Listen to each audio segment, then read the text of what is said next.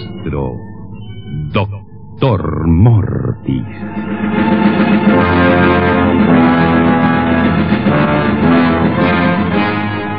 Narraciones de suspenso, terror, misterio, interpretadas por un escogido elenco encabezado por Elba Gatica, Enrique Madiñá, Ángeles Barranco, Mario Duval, David Acevedo, Lawrence Young y otros connotados actores. Presentación e interpolaciones comerciales, Fernando James. Sonidos de estudio, Mauricio Marino. Control técnico, Carlos Sánchez. En el rol del Doctor Mortis. Libretos y dirección.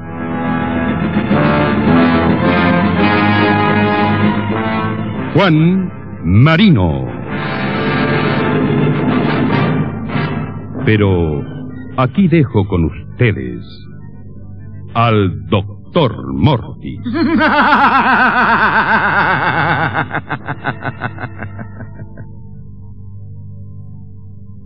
Para hoy, el radiocuento que he titulado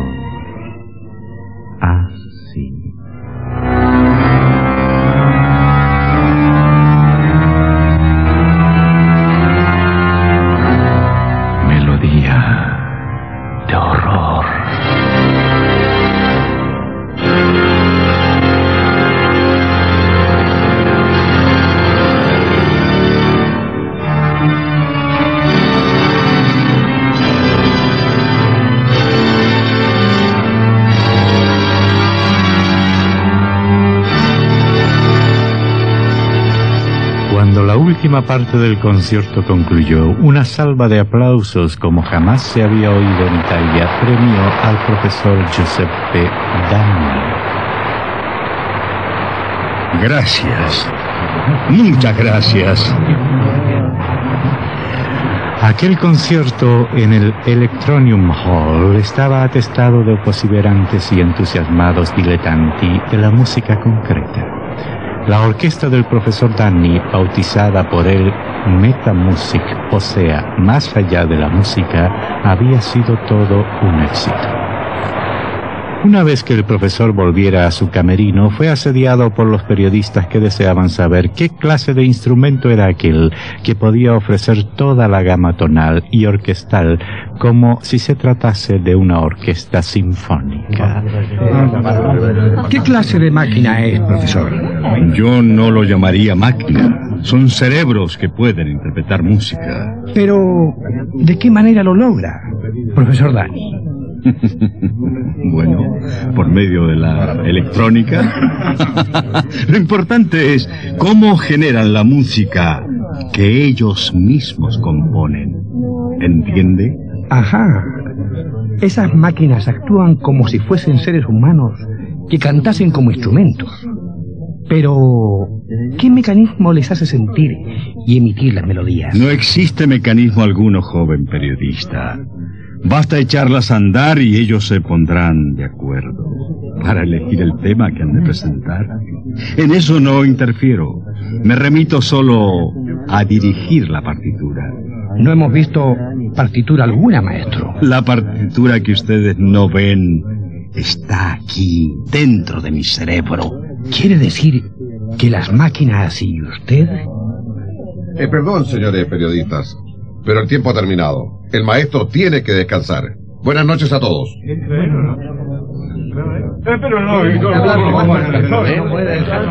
Por favor, señores. Uf. Gracias por haberme librado de ellos, Casazza. Este es solo el comienzo, Dani. Tus robots musicales te traerán... Ah, no, son robots musicales, estúpido. No vuelvas a decir Vamos, eso. Vamos, cálmate. Tú lo llamas de otra manera. Pero para mí no son nada más que eso. Robots musicales. Más bien máquinas tragamonedas. Eres un imbécil, Casazza, que no ve más allá de sus narices. Veo muchas cosas, Danny. Muchas cosas. No olvides que estoy 10 años como director de esta sala de espectáculos y he visto otros trucos semejantes. Sin ir más lejos. El órgano que habla, por ejemplo. Jamás un órgano ha podido hablar, ni lo podrá hacer. pero todo el mundo pagaba una fortuna por ver y oír el órgano parlante. Escucha. el órgano parlante. Mi metamúsica no es un truco. Mis creaciones no solo hablarán, sino que cantarán y entonces, adiós, divos del mundo. Escúchame una cosa, Giuseppe. Creo que deberías descansar El un poco. que necesita descanso eres tú, Casatza. Y ahora déjame en paz.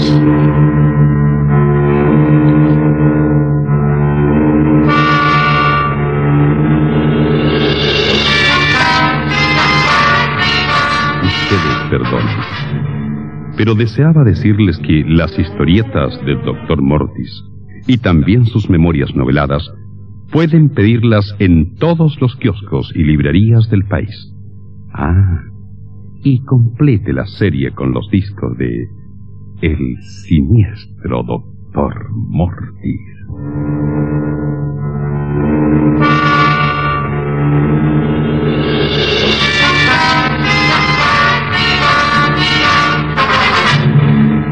Poco después el representante Casazza y Danny se dirigían a casa de este en un elegante barrio de Milán.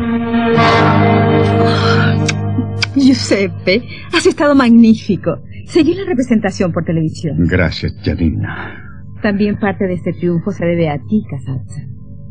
Usted creyó siempre en el éxito que Giuseppe obtendría con su... con su orquesta. Hmm. Bueno, a, a fuer de sincero, mi intervención en esto, Janina, se basa solo en la posible ganancia que dejaría tal espectáculo. No olvide que soy un hombre de negocio, no un artista. Y a propósito, creo que nos vendría bien a todos un trago. Ah, sí, sí. Tengo algo preparado. Después de la exhibición, algunos vecinos vinieron a felicitarme, Giuseppe. Opinan que ha sido una sensación. Lo creo. La misma sensación que causara el ruso León Teremín cuando en 1920 presentó su invento que más tarde se llamó Teremín.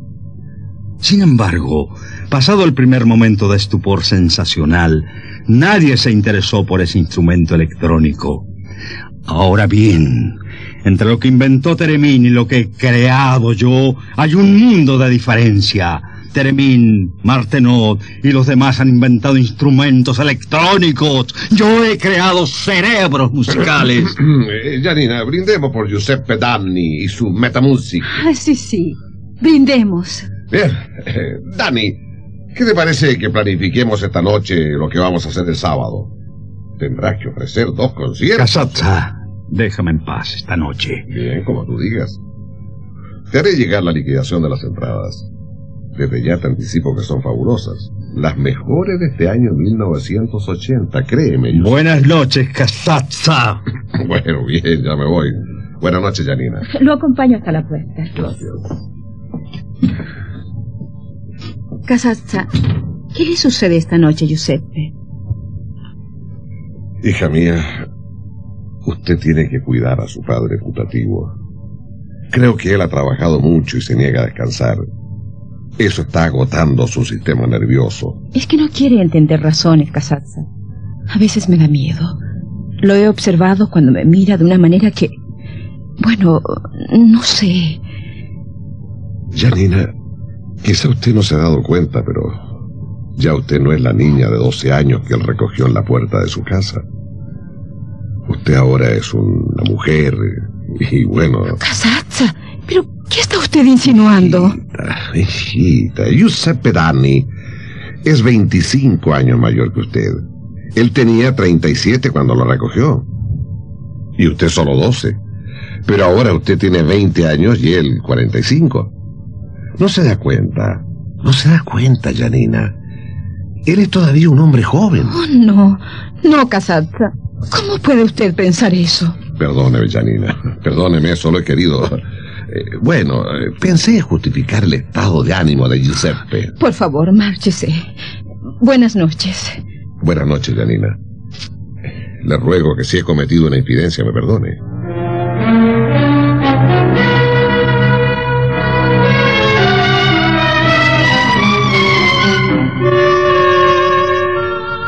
Marchó al fin. Oh, sí, sí. ¡Qué peste!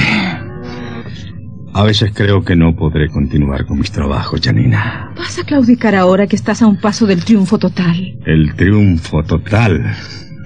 ¿De qué me sirve? Tengo 45 años y me siento viejo y solo. No tuve tiempo de conquistar a una mujer que consintiera en ser mi esposa, Janina. La joven se sobresaltó. Nuevamente aquella mirada de Giuseppe que la desasosegaba. Bueno, quizás no tuviste tiempo porque yo... Yo llegué siendo una niña a tu vida. Me doy cuenta que hiciste de mí lo que soy, Giuseppe. Siempre te estaré agradecida. Sí, sí. Te recogí cuando eras una niña.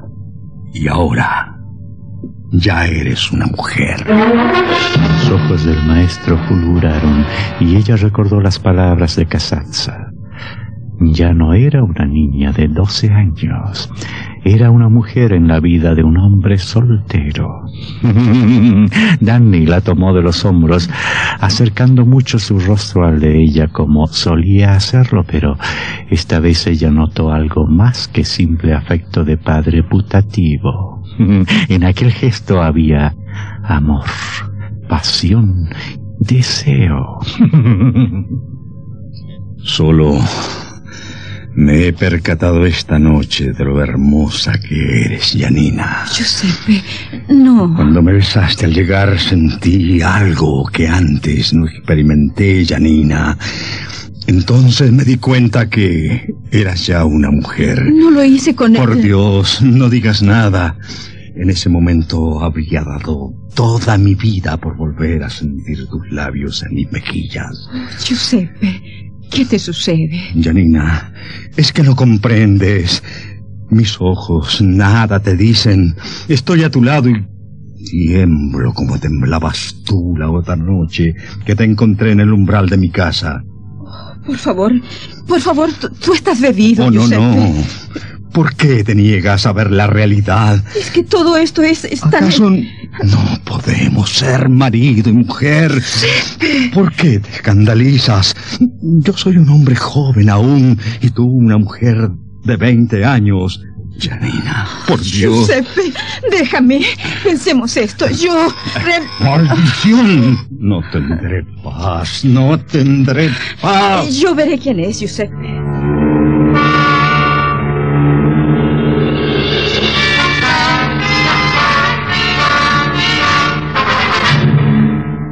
Perdón.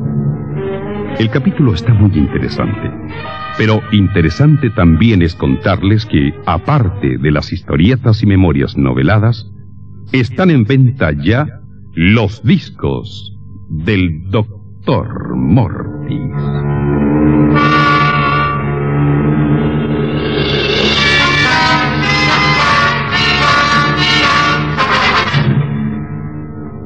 La joven abrió y en el umbral vio a un apuesto joven de unos 25 años que sonreía francamente. Buenas noches.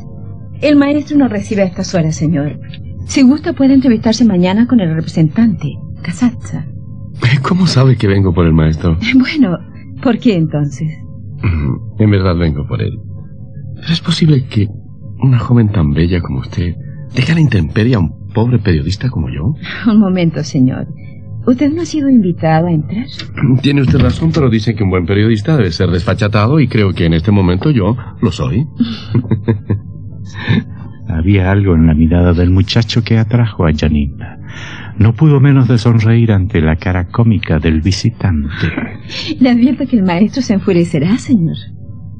Franco Bianco, para servir a usted. Periodista y además corista de punta del Teatro de la Escala. Ay, ya me parecía haber visto su rostro. Usted actuó en la nueva ópera Los Androides. Gracias. ¿Cómo estuve? Como corista no estuvo mal.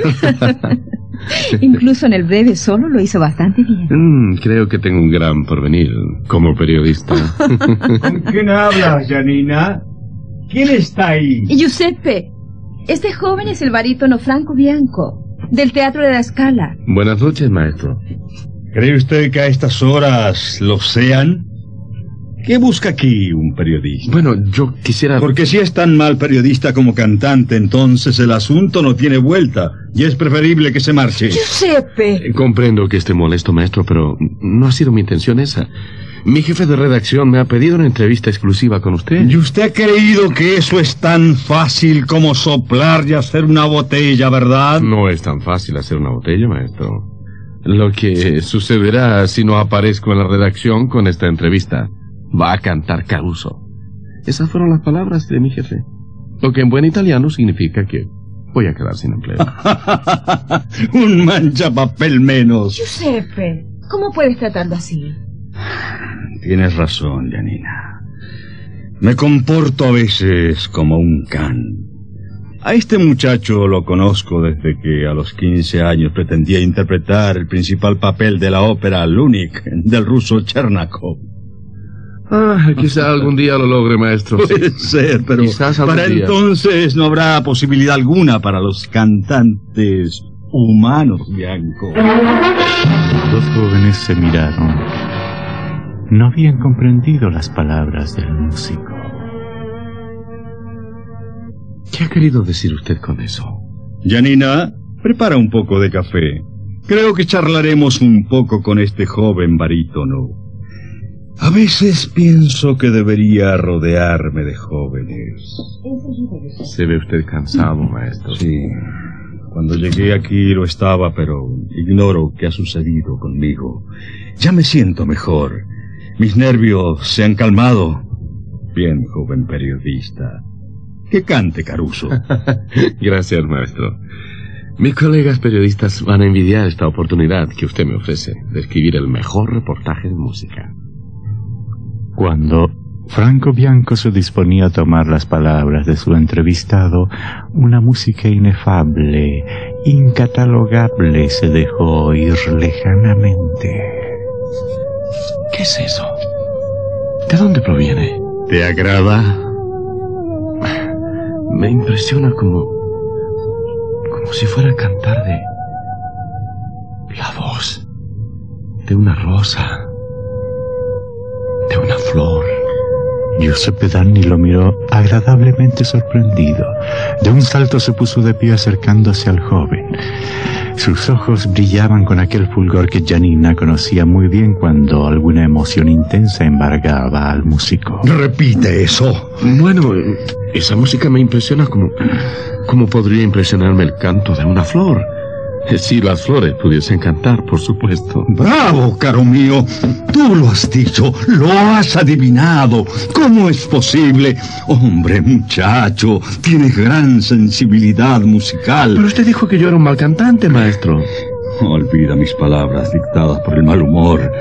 Celebro que sepas apreciar nuestra música. Nuestra música, dijo usted. Oh, sí, me refiero a él y a mí, por supuesto. Él es la creación que puede ejecutar y entregarnos tales sonidos. Creo no, no entenderlo, maestro. Por supuesto que no puedes entenderlo aún. ¿Te agradaría ver lo que asombrará al mundo dentro de poco? Si se trata de ver lo que produce esa música, por supuesto que sí. Ven conmigo. Pocos han tenido el privilegio de verlo. Mejor dicho, nadie hasta ahora, excepto Janina. Ahora, tú puedes ver lo asombroso, solo porque tu sensibilidad musical es digna de que te muestre mi secreto. Danny condujo al joven por un largo pasadizo, al fondo del cual había una puerta de acción electrónica. El músico extrajo del bolsillo una llave también electrónica y abrió la puerta. Lo invitó a pasar. El joven obedeció encontrándose acto seguido en una especie de sótano, pero que al instante adivinó era una cámara acústica iluminada tenuemente por una luz difusa proveniente de alguna parte. Bianco recorrió con la mirada el recinto. Entonces al fondo vio aquel ojo enorme que parecía mirarle con curiosidad.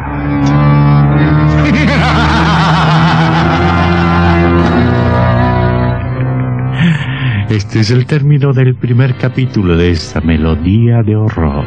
en realidad lo es. Dispónganse a escucharla.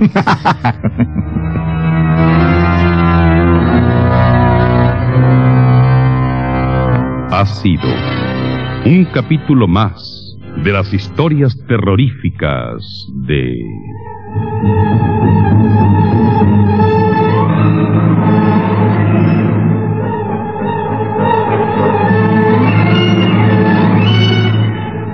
El siniestro Doctor Mortis.